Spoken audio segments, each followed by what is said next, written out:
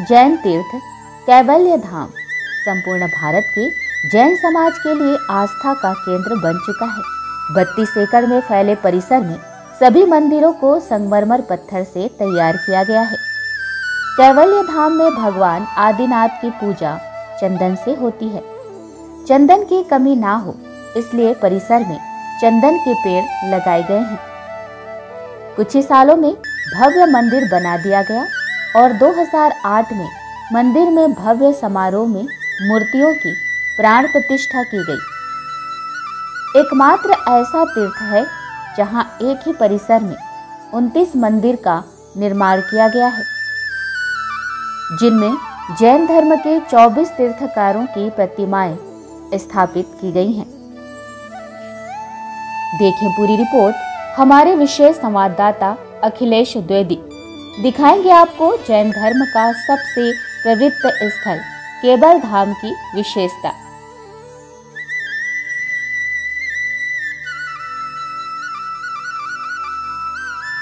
हम इसको छत्तीसगढ़ का हिमालय बोलते हैं कि हिमालय तीर्थ है। तो ऐसा परमात्मा विराजमान है।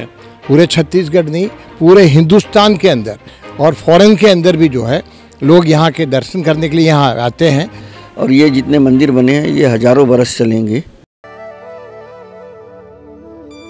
वैसे तो छत्तीसगढ़ के हर छोटे बड़े मंदिर में जैन मंदिर हैं, लेकिन श्रद्धालुओं ने 15 साल पहले ऐसे मंदिर की कल्पना की जहाँ अभी तीर्थकारों की प्रतिष्ठापित किया जा सके। इसके लिए राजधानी से महज 10 किलोमीटर दूर खारून नदी के समीप कुम्हारी गाँव में ज़मीन तलाशी गई। जैन साधु साध्वियों ने निरीक्षण करके वास्तुशिल्प को ध्यान में रखकर मंदिर बनाने की आज्ञा दी। दानदाताओं के सहयोग से कुछ ही सालों में भव्य मंदिर बना दिया गया और 2008 में मंदिर में भव्य समारोह में मूर्तियों की प्राण प्रतिष्ठा की गई। यहाँ की सबसे बड़ी खासियत यह है कि मंदिर निर्माण में लोहे का इस्तेमाल नहीं, लगभग 32 एकड़ में फैले परिसर में सभी मंदिरों को संगमरमर पत्थर से तैयार किया गया है। कहीं भी लोहे की छड़ का इस्तेमाल नहीं हुआ है। राजस्थान के मरकाना पत्थर से बना जैन तीर्थ कैवल धाम संपूर्ण भारत के जैन समाज के लिए आस्था का केंद्र बन चुका है। यह मध्य भारत का एकमात्र ऐसा तीर्थ है, जहाँ एक ही परिसर में 29 मंदिरों का निर्माण किया गया है, जिसमें जैन धर्म के चौबीस तीर्थकारों की प्रतिमाएँ स्थापित की गई है। बीच में निर्मित बड़े मंदिर में भगवान आदित्य विराजित हैं। अगल बगल के मंदिरों में अन्य तीर्थकारों की प्रतिमा है। इस खूबसूरत तीर्थ का दर्शन करने के लोग हर साल देश भर से लाखों श्रद्धालु आते हैं। देखिए, सत्य बात यह है कि जैन धर्म का ये मुख्य तीर्थ है, लेकिन छत्तीसगढ़ का मुख्य है। हिंदुस्तान का मुख्य नहीं कह सकते। हिंदुस्तान के मुख्य तीर्थों में हमारा शत्रुंजय तीर्थ पालितना समय शिखर जहाँ हमारे बीस तीर्थंकरों का निर्माण हुआ है, जो झारखंड में है, ऐसे ही गुजरात में गिरनार तीर्थ है, और भी बड़े बड़े तीर्थ हैं, लेकिन ये तीर्थ छत्तीसगढ़ में अपनी अनुपम छटा, एक खारून के किनारे पवित्र पावन स्थल पे, जहाँ गुरु भगवंत हरदम विराजते हैं ऐसे अवसर का ये एक अनोखा तीर्थ है। और इसकी जो रचना है आप देखेंगे कि जिस वी आकार में इसकी रचना हुई है ये रचना आपको हिंदुस्तान में कहीं देखने के लिए नहीं मिलेगी।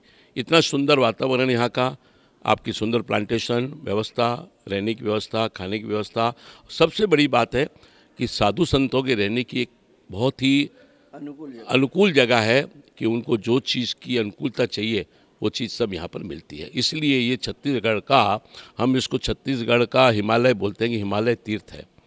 इसलिए ये एक अनुपम तीर्थ है। सर ये उनतीस मंदिरों का क्या महत्व है? या, या। देखिए जैन धर्म में चौबीस तीर्थंकर हुए हैं। आदिनाथ परमात्मा जो प्रथम तीर्थंकर है प्रथम केवली प्रथम तीर्थंकर प्रथम मुनि। उनके बाद जो अंतिम हमारे जो परमात्मा हुए हैं महावीर स्वामी जिनका शासन में अभी हमें उनका शासन चल रहा है तो हमारे चौबीस तीर्थंक हुए हैं तो पहले जो मंदिर, आप बड़े मंदिर में गए थे, वो मूल मंदिर है, जो परमात्मा आदिनाथ का मंदिर है, और जिनको भी चौबीस ही मंदिरों के दर्शन करने होते हैं तो चौबीस मंदिर बनने हुए तो एक साथ, एक स्थान पर। नहीं तो चौबीस मंदिरों के लिए चौबीस जगह जाना पड़ता है उनको। तो अभी एक ही स्थान पर उनको चौबीस मंदिरों के दर्शन हो जाते हैं, और जो दो मंदिर आपने नीचे देखे, वो दो मंदिर जो है, वो हमारे जो अधिष्ठायक देव देवी होते हैं, उनके वो मंदिर है, जो तीर्थ रक्षा करते हैं। साथ साथ आपने ये देखा जो मंदिर, अट्ठाईसवां ये इसको हम दादावाड़ी बोलते हैं, जो हमारे खरतगत समुदाय में हमारे चार दादा गुरुदेव हुए हैं, जिन्होंने लाखों अजैनों को जैन बनाया और हमको जैन बना के गोत्र दिया, कैसे हमको अपना आचार रखना, कैसे अपना विचार रखना, कैसे अपने भाव रखना, कैसे अपने को धर्म की प्रभावना करना और धर्म क्षेत्र में कैसे जुड़ना, इस सब चीज़ का हमको अंगुली पकड़ के उन्होंने सिखाया, इसलिए उनका उपकार है। जहाँ भी मंदिर बनता है खतरगछ का वहाँ पे आपको ये दादावाड़ी अवश्य मिलेगी। उन्होंने मांसाहार और मांसाहार से सब व्यसन से हमको मुक्त कराया उसी के लिए। और ये जो मंदिर है एक पारना मंदिर परमात्मा आदिनाथ ने 400 दिन तक क्योंकि उस समय आहार की क्रिया नहीं थी तो वो 400 दिन तक उपवास जो किया था उन्होंने आहार नहीं मिलने से अभी उसी को वर्षी तप के रूप में तपस्या करते हैं जिसके भी पारणे यहाँ व्रत करते हैं और व्रत तोड़ते हैं। तो एक दिन लेते हैं और एक दिन नहीं छोड़ते। उस समय कोई व्यवस्था नहीं आदिनाथ भगवान घूमते गाँव में जाते थे तो कोई उनको सोना देता था, कोई चांदी देता था, कोई मिर्ग देता था, कोई बोलता है, मेरी दासियों को ले जाओ, हमारी रानियों को ले जाओ। लेकिन वो कुछ करते नहीं अपना चल जाते थे। ऐसा 400 दिन 400 डेज़ उन्होंने बिना खाए निकाला तो और उसके बाद एक जगह उनको जैसा अनुकूल चाहिए था, वैसा पालना, उनको भोजन मिला और वो भोजन मिला इक्षुरस। गन्ने का रस। गन्ने का रस। गन्ने के रस से उन्होंने कर पात्र में लेकर के 108 घड़े से उसका सेवन करके अपने व्रत को तोड़ा। वो व्रत पूरे जैन समाज के अंदर, कोई जैन समाज का पंथ संप्रदाय हो, वो संप्रदाय इस वर्षी तप के पालने की आराधना को पालता है और अपने जीवन को धन्य करता है। श्री कैवल धाम जैन श्वेतांबर ट्रस्ट के अध्यक्ष रामचंद्र लुनियाने एवं महामंत्री सुपारा संद गोलछा ने बताया कि तीर्थ परिसर में स्थित उनतीस मंदिरों में साल भर में एक बार ध्वजा बदलने की परंपरा चली आ रही है। सभी मंदिरों में एक साथ एक ही समय में विधि विधान से मंत्रोच्चारण के साथ ध्वजा बदली जाती है। पिछले 12 सालों में 12 बार ध्वजा बदली जा चुकी है। श्री आदिनाथ जैन श्वेतांबर तीर्थ कैवल्य धाम में 24 तीर्थकरों की प्रतिमाएँ अलग अलग मंदिर में प्रतिष्ठापित है 24 मंदिरों के बीच मूल नायक आदिनाथ का मंदिर है, जो इन सभी मंदिरों में सबसे बड़ा है इनके अलावा भैरव, तीन देवी देवताओं और एक दादा बाड़ी को मिलाकर कुल 29 प्रतिमाएँ मंदिर में हैं। मंदिर की भव्यता और आसपास का मनोहारी दृश्य मन को लुभाता है। मंदिर में मुफ़्त अस्पताल का संचालन भी किया जा रहा है। इसमें एलोपैथिक, आयुर्वेदिक, होम्योपैथिक डॉक्टर सेवाएँ देते हैं।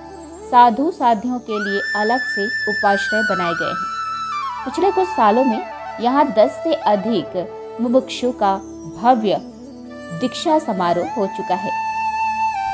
इस तीर्थ की प्रतिष्ठा 2008 में संपन्न हुई। और उसके बाद में हर साल कम से कम चार से पाँच आयोजन इस तीर्थ में होते हैं। बड़े आयोजन। वर्षी तप पारना है उपजान तप भी यहाँ पे काफ़ी हुए हैं। उसके अंदर 300-400 लोगों की तपस्या हुई है और सभी इस तीर्थ में हैं। इस तीर्थ में भोजनशाला है निःशुल्क भोजनशाला हम रखे हुए हैं। यहाँ पे आरोग्य धाम है जिसमें दवाइयाँ वगैरह सबको फ्री डिस्ट्रीब्यूशन है, आसपास के लोग जो गाँव के आते हैं, उनको सबको उनके लिए भोजन भी वितरण किया जाता है, उनकी दवाइयाँ भी फ्री में दी जाती है, रहने की यहाँ पूरी व्यवस्था है। और कमरे हैं, जहाँ तक हो सकता है हम हर सुविधा उनको देने की कोशिश करते हैं, बस सिर्फ़ यही है कि सुबह सात बजे जब सूर्योदय के बाद में हमारा यहाँ भोजनशाला वगैरह शुरू होती है और शाम को सूर्यास्त के पहले हमारे यहाँ भोजन की व्यवस्था है, उसके बाद में हमारे यहाँ कोई कार्यक्रम नहीं है। इस तीर्थ की महिमा जो है, पूरे छत्तीसगढ़ नहीं, पूरे हिंदुस्तान के अंदर और फॉरेन के अंदर भी जो है, लोग यहाँ के दर्शन करने के लिए यहाँ आते हैं और उनको भी पूर्ण सुविधा का उनका ख्याल रखा जाता है। ये रेलवे लाइन के किनारे पे है और रेलवे से जितने यात्री करते हैं, सब इसके दर्शन हो जाते हैं। ऊपर इतनी, ऊपर मंदिर है जिससे कि ट्रेन में बैठे बैठे आराम से वो दर्शन कर सके, भगवान के दर्शन करके उनका पुण्योदय होता है। जैन समाज ही है। जो महिलाओं को भी इतनी तवज्जो देता है और वो भी इतनी साध्वी बनती है, अपना घर बार त्याग करके, वरना महिलाओं को ईश्वर की तरफ़ जाने के लिए सिर्फ़ जैन धर्म ही इतना अग्रसित करता है और वो अपना सब घर बार छोड़कर, जो बोलते हैं ना कि महिलाएँ स्नेह नहीं छोड़ सकती, बच्चों से, पति से, उन सबको छोड़ के भी आज इसमें और इस समय भी आपको बहुत सी साध्वी देखने को मिलेगी।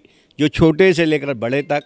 और ऐसा विचक्षण क्षण है कि शायद हमारे छत्तीसगढ़ से किस, कोई भी व्यक्ति ऐसा नहीं होना चाहिए जिसने ये कहे कि मैंने ये क्षण खो दिया है। अपन सीमेंट से बनाए हुए मकान और भवन जितने होते हैं, उनकी उम्र पचास से सौ साल होती है। और ये जितने मंदिर बने हैं, ये हज़ारों बरस चलेंगे। तो जो अपने अपने कहीं कहीं पे भी जाते हैं, कोई भी मंदिर हो जितने भी मंदिर की श्रेणी में आते हैं, वो सब देखोगे सब पत्थर के बने रहते हैं। उसके पीछे कारण वही है कि उन बहुत लंबे समय तक लोगों को भक्ति करने मिले।